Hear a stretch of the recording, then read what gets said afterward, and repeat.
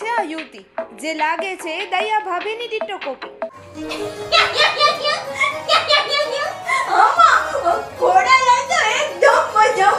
શું આશિત કુમાર મોદીને મળી ગયા નવા દયા ભાભી? આ દયા શું માન્યું છે આ સવાર સવારમાં? મારો મારો જીવ ઉચ્ચેર આવી દીધો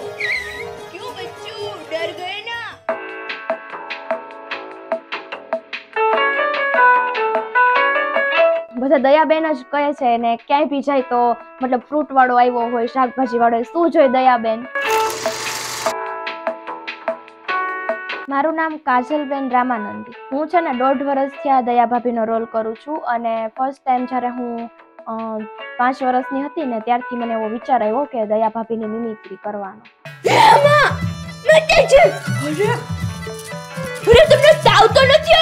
બાકી ઘણી બધી એક્ટિંગ કરી છે family emotional drama album song પણ મને આમાં પબ્લિક ચાહના વધારે મળી છે કે સ્કૂલમાં ને બધી જગ્યાએ. જય માતાજી. સાચું કહું ને તો મેં કઈ પ્રેક્ટિસ જ નહોતી કરી. અને ત્યાં જવાનું હતું ને ત્યારે બધા ના જ પાડતા હતા પણ ત્રણસો રૂપિયા ફી હતી તો ત્યારે મારા માટે ત્રણસો રૂપિયા બહુ હતા. એટલે ના પાડી. પછી મમ્મીએ છે ને ત્રણસો રૂપિયા ભરીને ત્યાં ગયા, સવારે ગયા અને રાત્રે દસ વાગે મારો વારો આવ્યો હતો. એટલે મેં કોઈ જાતની કોઈ પ્રિપેરેશન નહોતી કરી અને સીધું મેં સ્ટેજ ઉપર જઈને જ પરફોર્મ આપ્યું હતું અને બેસ્ટ ગયું હતું. અને તમે મારા કાગડા રાજા! શું કરું?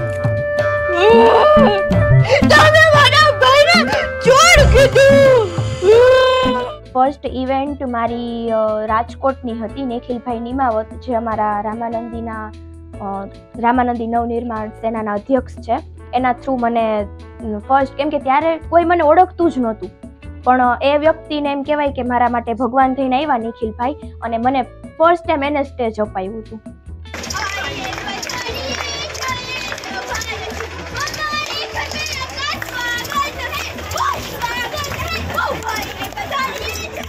અમે લોકો રેલીમાં જતા હતા.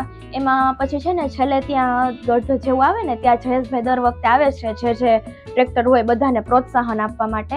તો ત્યારે છે ને હું એમ જ તે ટ્રેક્ટરમાંથી ઉતરી ગઈ અને સીધી આરતી, કેમ કે જયેશભાઈ સાથે બીજી તો કોઈ આપણે મજાક મસ્તી ના કરી શકીએ.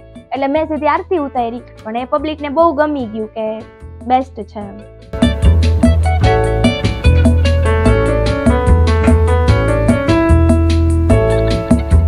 મને બહુ બધા આશીર્વાદ આપ્યા કે, બેટા, તું ગામનું નામ રોશન કરે અને માથે હાથ ફેરવો, એ મારા માટે બહુ છે.